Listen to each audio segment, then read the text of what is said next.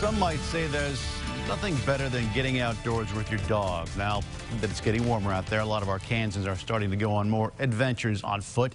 But for one U of A Little Rock student, his recent adventure with his dog turned terrifying. And he has a message for people ready to hit the great outdoors. Cassandra Webb has got a story. Imagine you're on a leisurely hike with your dog, and you guys come across a deadly situation with very little room to escape.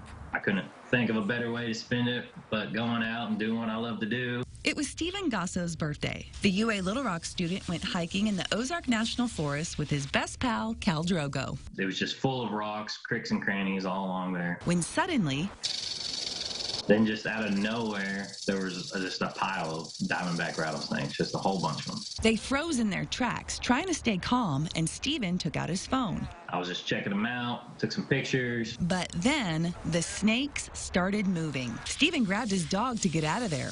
But when he looked down, My foot was right beside another pretty big rattler.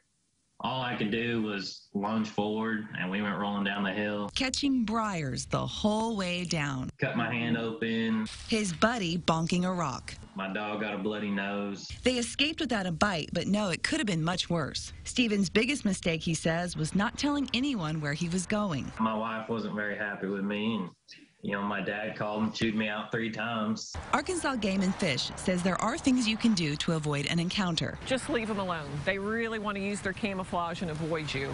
Rattlers like to hunt in the dark, so If you're going out at night to put the grill cover on or go close the chicken coop, use a flashlight. and keep your grass cut short. They don't like to feel exposed. I learned a pretty good lesson. So the next time you're out enjoying the beautiful outdoors in the natural state, just keep your eyes and ears open for rattlesnakes. And if you see one or a few, the best thing you can do is just walk away. Reporting in Little Rock, Cassandra Webb, back to you.